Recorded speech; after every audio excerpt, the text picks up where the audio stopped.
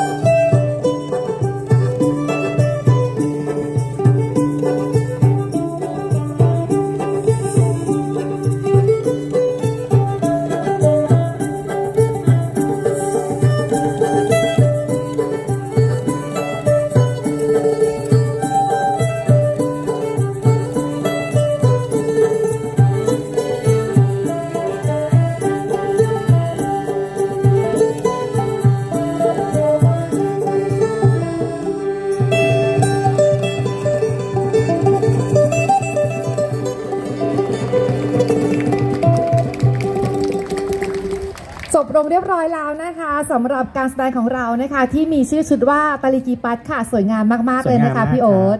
สำหรับตาลิกิปัตนะครับเป็นนาฏศิลป์พื้นเมืองของชาวไทยมุสลิมทางภาคใต้ครับคำว่าตาลิกิปัตเนี่ยเป็นภาษามลายูท้องถิ่นนะจ๊ะค่ะหมายถึงการฟ้อนรำที่ใช้พัดเป็นส่วนประกอบ ซึ่งเพลงที่ประกอบการแสดงนะครับเป็นระบำประมงของชาวมาเลเซียนะครับ ส่วนชื่อเพลงก็คืออีนังตังลุง เป็นเพลงผสมระหว่างมาลายูกับจีนครับผม นะคะก็จบไปเป็นที่เรียบร้อยแล้วนะคะสำหรับการแสดงค่ะ ตอนนี้ค่ะเดี๋ยวขอเรียนเชิญน้องๆนะคะ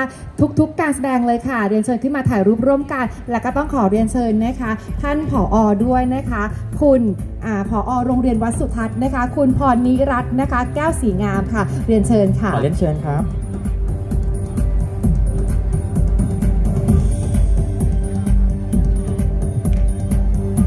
เดี๋ยวมองกล้องหลักกันก่อนได้เลยนะคะ